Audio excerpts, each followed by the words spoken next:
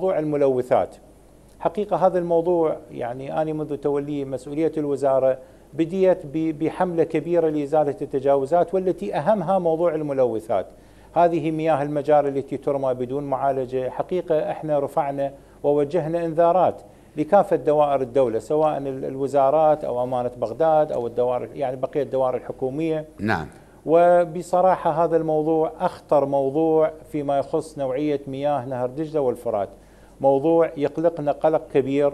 آه، حقيقة آه، يعني لجأنا إلى هذا الموضوع لأنه لم نجد أي أذان صاغية من هذه الدوائر بالرغم من من المخاطبات الكبيرة على ضرورة معالجة المياه حسب التعلي حسب القانون حسب التعليمات.